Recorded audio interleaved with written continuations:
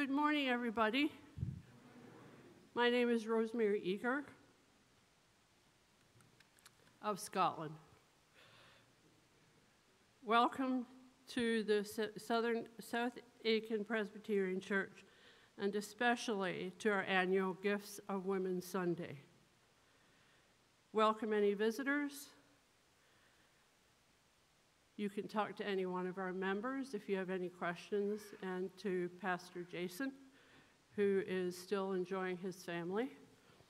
But we have Katie here to uh, assist us.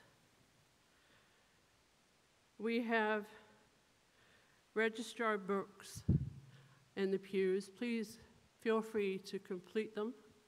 Fill in your name and address and a phone number if you would like one of us to contact you. We would appreciate that.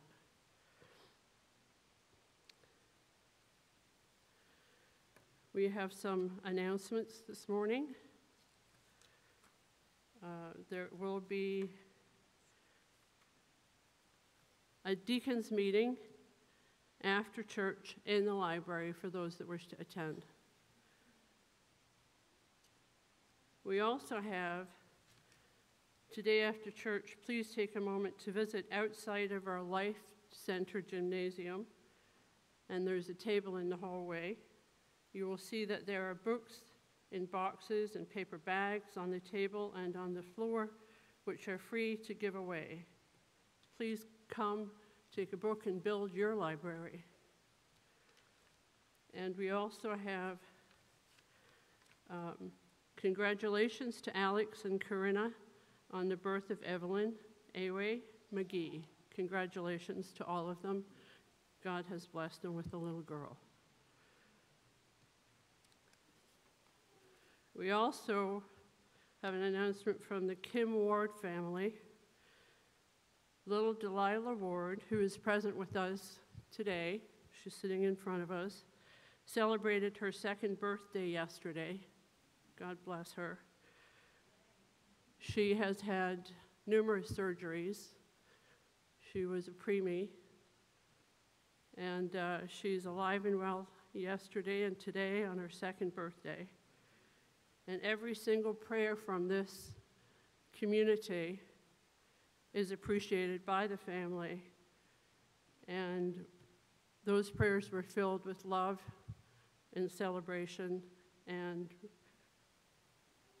wished little Delilah Ward a happy birthday.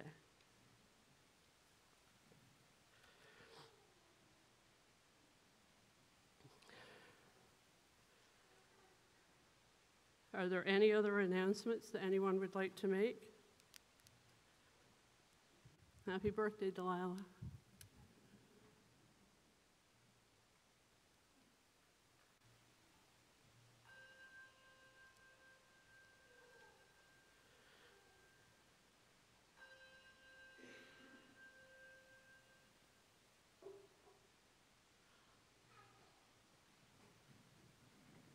Let us have a call to worship.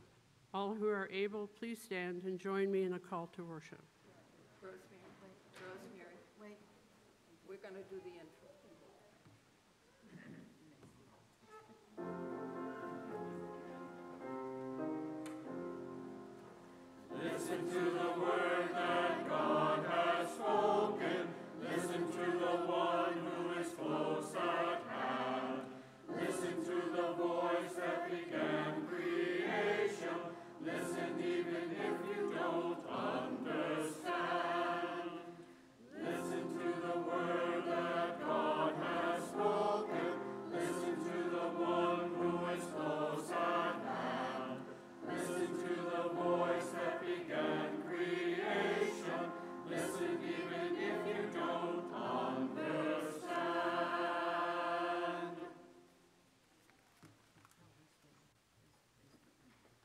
again, please stand if you're able.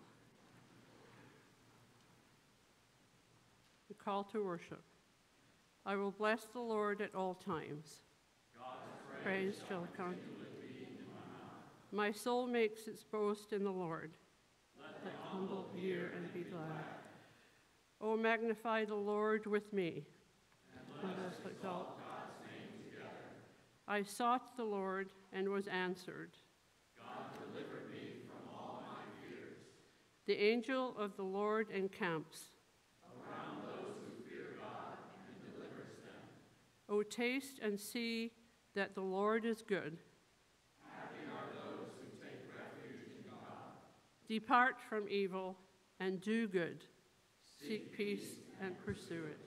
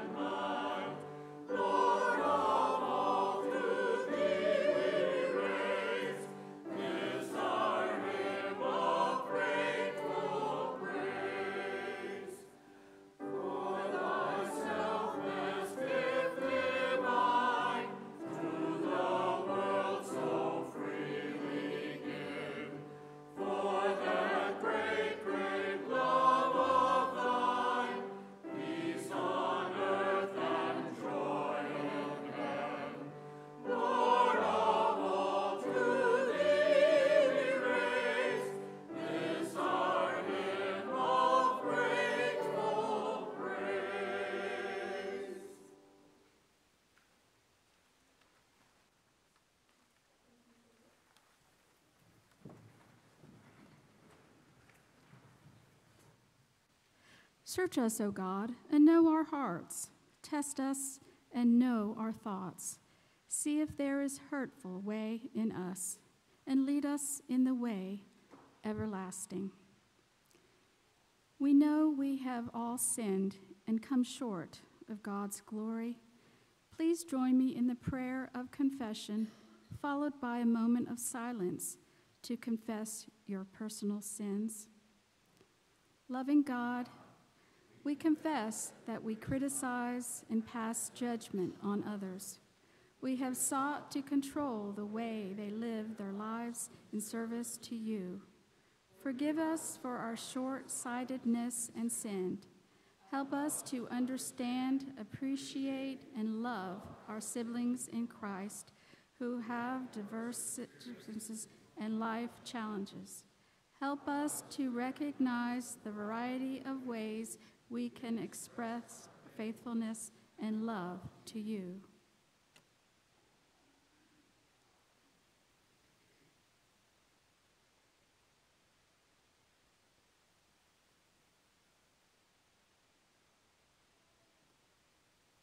And all God's people said, Amen. Hear the good news, believers. Beloved in Christ, you who are blessed by God to inherit the kingdom prepared for you from the foundation of the world. By the power of the Holy Spirit, you are refashioned every day to live according to God's reign in the freedom of Christ Jesus. Friends, know that you are forgiven and be at peace. As the water is poured into the font, remember that God claims you in baptism through faith. Let us walk by the Spirit of the living God.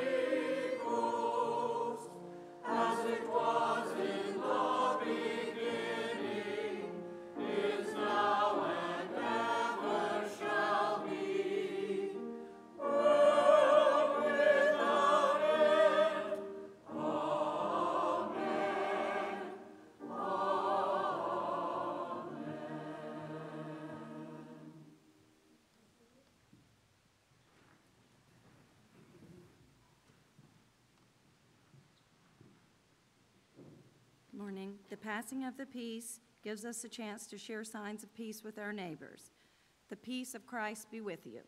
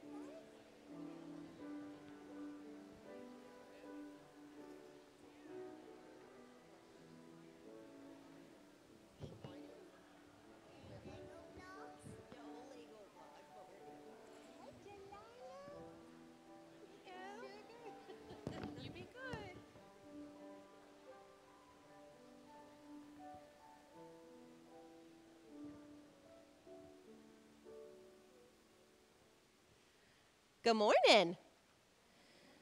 Are you ever so excited you just can't even keep it inside? You want to jump for joy and sing and dance, a little happy dance? I know you do, Delilah, right? We get to hear your excitement. So, you have something in your shoe? We can fix that. So, in our Bible story today, we hear about a time that Mary visited her cousin Elizabeth. Elizabeth was much older and she was pregnant with John the Baptist. After Mary received the good news that she was going to have baby Jesus, she went and visited Elizabeth for a little while. And when Mary came in, Elizabeth felt her baby jump for joy, even though she wasn't born yet. He was so excited and jumped for joy because he recognized that Jesus was near him. Elizabeth understood that something incredible was happening.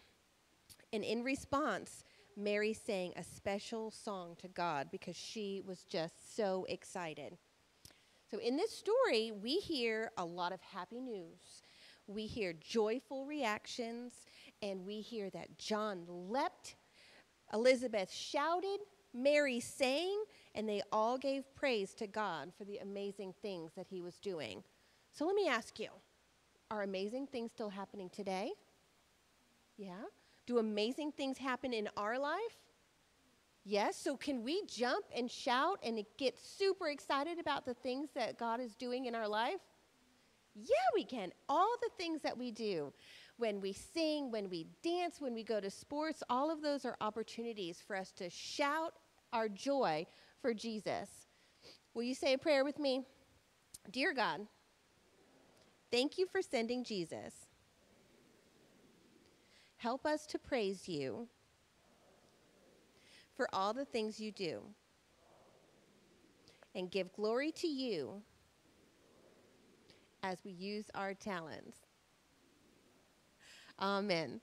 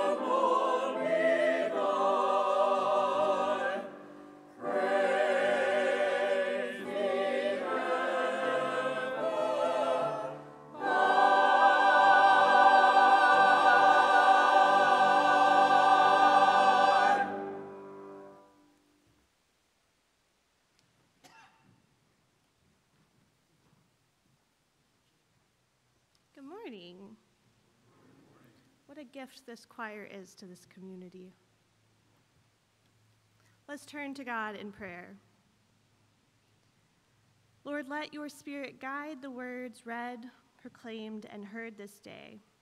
May your abundant grace fill our hearts as we hear your good news and share it with the world around us. Amen. This morning's scripture reading comes from the Gospel of Luke, chapter 1, verses 39 through 45. Hear now the word of the Lord. In those days, Mary set out and went with haste to a Judean town in the hill country, when, where she entered the house of Zechariah and greeted Elizabeth. When Elizabeth heard Mary's greeting, the child leaped in her womb. And Elizabeth was filled with the Holy Spirit and exclaimed with a loud cry Blessed are you among women, and blessed is the fruit in your womb. And why has this happened to me, that the mother of my Lord comes to me? For as soon as I heard the sound of your greeting, the child in my womb leaped for joy. And blessed is she who believed that there would be fulfillment of what was spoken to her by the Lord. Hear what the Spirit of God says to the church. Thanks be to God. So, this morning's sermon starts with a little bit of congregational participation, but don't panic. Don't need to stand up, you don't have to say anything out loud. We're just going to take a few deep breaths together. So, take your hands and place them on your stomach. And take a deep breath in and let it out slowly. Did your shoulders relax? Did you feel the movement? Maybe you readjusted in your seat a little bit, or maybe the pew underneath you creaked just a smidge. This time, we're going to do it once more, but focus on the air filling within your stomach. So, deep breath in and out. Now, hear this word koilia. In the gospel reading this morning, Elizabeth shares this word with her young cousin Mary. She says, For as soon as I heard the sound of your greeting, the child in my koilia leaped for joy. This Greek word, koilia, is often used in Scripture to mean belly or womb or stomach. While it often describes a location in the body, it is also tied to the source of life and feelings and our emotions. And biblical scholars will tell you time and time again that often Greek and Hebrew words never mean just one thing, that one word can hold a full paragraph of meaning. And I think that's what we experience here. So Elizabeth is surprised by Mary's presence in her home. Mary's voice breaks through the silence and startles Elizabeth from her daily life and routine of quiet. Elizabeth's home has been silent for quite some time because her husband has been unable to speak. So Elizabeth has been living in a home filled with only the sounds of her thoughts and prayers and she's preparing to give birth to who she does not know yet. So when the voice of Mary is heard, Elizabeth's body responds. The Holy Spirit moves within her. The center of her being is moved by the voice and presence of her cousin in her home. Elizabeth is aware of the story that's unfolding before her. She knows of the prophets and understands the voices of angels so she does not hesitate to greet Mary as the Mother of God. So this isn't just a casual conversation between two cousins. This is more than two women visiting before their pregnancy is completed. These two women are pregnant because of divine intervention. So, this interaction told in Scripture between cousins is a full body response to the power of God. Friends, this is what I like to call a biblical gut feeling. And maybe you've experienced a gut feeling response before. Or maybe you've heard loved ones describe it in great detail, or maybe the concept has come up in your favorite book or movie. Maybe you've studied the Enneagram and are thinking about the gut triad, where numbers 8, 9, and 1 tend to make major decisions based off their gut feelings. And for me, having a strong gut feeling runs in my family. My grandfather had a gut that you could take to the bank. He would meet somebody, shake their hand, and immediately be able to tell you if they were trustworthy. And I knew if Grandpa trusted someone, it was in my best interest to follow suit. And if Grandpa didn't trust someone, well, that wasn't really up for discussion. Questioning anything deemed appropriate was not a practice my family participated in. His gut feelings led him to do things like buy a family ranch with his best friend, so his kids and grandkids had a little slice of heaven in the Texas Hill Country. His gut feeling often had us leaving at least 30 minutes early on any road trip to be prepared for the unexpected. And his gut feeling told him to sell his boat trailer for about 50 pounds of fresh fish, much to the dismay of my grandmother and the room in her freezer. And his gut feeling called him to get all of his ducks in a row, quietly in the last few months before he passed away. While his death was sudden to us and his family was shocked, I have this gut feeling he knew it was coming and knew he needed to prepare. And I need to be honest though, it took some time for me to learn to trust my gut feeling, to truly understand that that pit in my stomach was saying something. But over time, I learned that in the center of my being, my stomach, it held all of these emotions that I sometimes cannot express. I learned that the things that cause my stomach to do backflips often mean that I am on the verge of a life change. My gut told me to move to Scotland for a year of service, and there I experienced all of the self growth. My gut also told me that my call to ministry was not going away. So here I stand preaching in a town I did not know existed a year ago, in a state I had never visited a year ago. And I feel God in this place and see familiar faces now. These feelings that exist inside of me are products of the Holy Spirit, calling me to trust in God, the divine being who created every piece of me. These Holy Spirit gut feelings cause me to move in unexpected and life changing ways. And I would be willing to bet that your gut has been the same guidepost for you. You've said yes to big and little life changes. You've maybe started or ended relationships. You've accepted jobs or moved somewhere new and a little scary. And you've trusted what your body is telling you feels right, and you've responded accordingly. Now, I have never been pregnant, and truthfully, it's experience that I doubt um, I want to experience, but maybe you have, and maybe you haven't been pregnant. And I don't think pregnancy is what relates us to the story. That's not where the humanity is. We connect with Elizabeth in the story and her ability to listen to her gut feeling. She has this gut feeling that the world is about to be flipped on its head. She names this particular and holy moment. She acknowledges God's presence in the room. And she shares a blessing with her dear cousin Mary.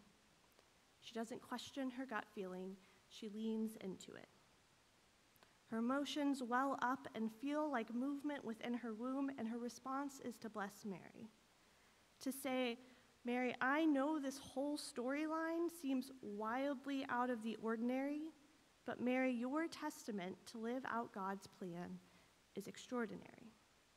Mary, your life is a blessing. Remember, Elizabeth refers to Mary as the mother of God. She knows of the life being created in the, her womb, and she specifically recognizes the blessing that is Mary and her commitment to God's ministry. And unlike Elizabeth, my gut feelings don't often end with me offering blessings to others. But what if they did? What if those moments when we feel the Holy Spirit moving, we acknowledge the presence of God and bless those around us? Maybe they aren't blessings of words, but rather blessings of gifts or actions. And I think this might have been what my grandfather was doing all along. I was preoccupied with the power of his gut feeling to notice the blessings he was sharing with his loved ones. But when he bought that family ranch, he took a huge financial risk that resulted in the blessing of countless family memories and time spent together and his gut feeling to show up early blessed me with the ability to be ready for most things and be alert to the world around me and most importantly, to always be on time. And when he sold the boat trailer for fresh fish, he blessed our family with countless meals and stories that still bring about laughter around tables today. And when he insisted on buying my grandmother a new car and finishing up projects around the house and even that very last run for batteries to Walmart, he blessed us with his peace and care and protection even after his death. So, friends, there is more to learn from the story of Elizabeth and Mary. Possibly listening to your gut, paying attention to the emotions welling up inside of you, and feeling the Holy Spirit move is just step one. Step two is acknowledging God in the story, no matter how wild it may seem. And then the final step is to bless those around us. Bless those around you, and then continue the cycle of feeling the Holy Spirit move within you. We know what happens after this moment in Scripture. We know that the future that's held by these two mothers. Because Mary and Elizabeth do not hide their stories. They do not keep quiet about the ways in which God is calling them to live. They share their stories, they celebrate the movement of God, and they bless those around them. For generations and thousands of years, the stories of these two women have changed the world in ways probably bigger than they could have ever imagined. We know that Mary listens to her gut and follows the call of God placed on her innermost being. Mary and follows the instructions of angels and brings a baby into the world who will change everything. And we acknowledge the humble beginnings of Christ's birth in a manger, but I think it's just as important to acknowledge the life giving work that Mary does in that same manger. The spirit filled work that Elizabeth shares with the birth of her son. These women trust their gut because they trust their God, and their actions become blessings to us all, and a story we return to year after year. So we're going to begin, or we're going to end the sermon the same way we started. One last time, let's take a deep breath together.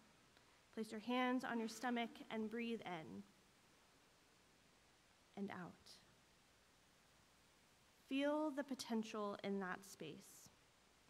Feel the Holy Spirit moving in your belly. Feel the call to bless those around you because that is a gut feeling we can trust. You might give birth to a human who changes the world. You might find the words to inspire someone to share their testimony. And you might feel the urge to feed God's people so their stomachs never feel empty. Your gut might encourage you to love people who are pushed to the margins. And your gut feelings might move you to tears for those in war and experiencing bloodshed. Your gut feeling might move you to take bold actions against injustice in this world. And your gut feeling might simply be the calmness of the Holy Spirit saying, Blessed is she who believed that the Lord would fulfill his promise to her. My gut tells me that your life is a blessing to those around you. My gut tells me this congregation continues to be a blessing to this community and beyond. Your willingness to lean into the call of God is a blessing for those who hear your story. So listen to your gut, pay attention to the center of your being, and know that the Holy Spirit is at work in you. Amen.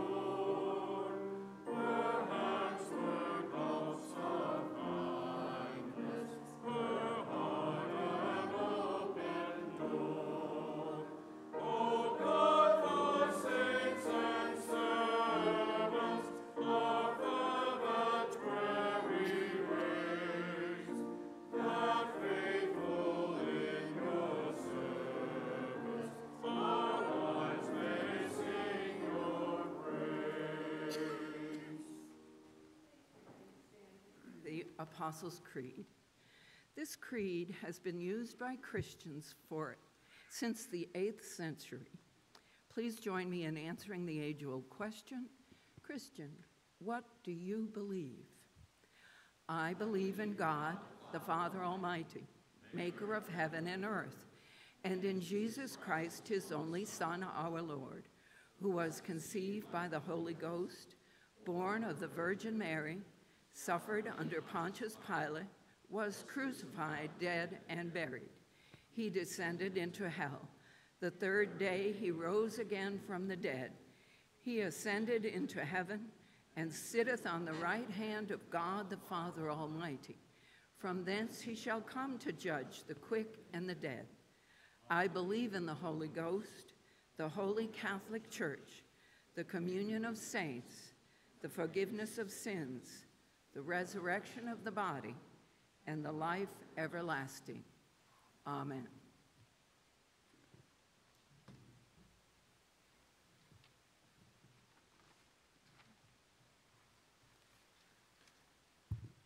Please be seated.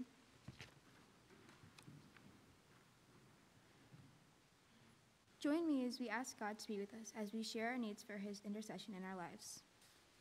Dear Lord, it is hard for some of us to watch the news every day. There are things happening that make us worried, like the environment deteriorating because of things that we are doing to it, and wars, school shootings, and violence filling our world.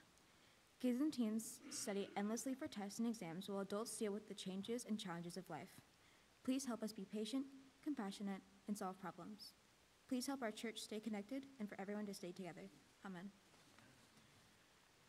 This is the time we are asked to share what we have been given so that through us, others may receive and know God's grace. In addition, we are accepting the birthday offering, one of two Presbyterian women offerings. The birthday offering continues to be used in the United States and around the world to bring hope and improve the lives of women and children. Ushers, please come forward.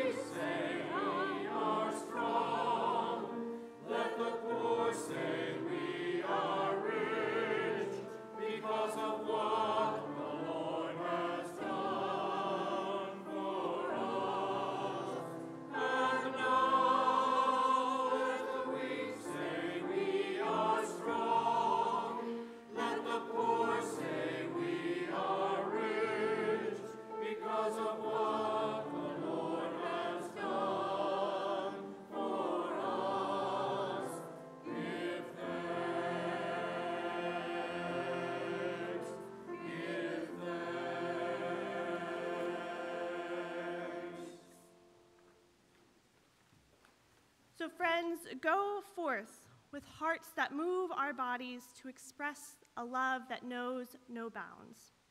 Display the kindness of God's care for all. May your experience have honor and dignity. May your dreams be realized. May you feel the power of your body to guide your choices. Blessings to you and our bodies joined together to live out justice realized.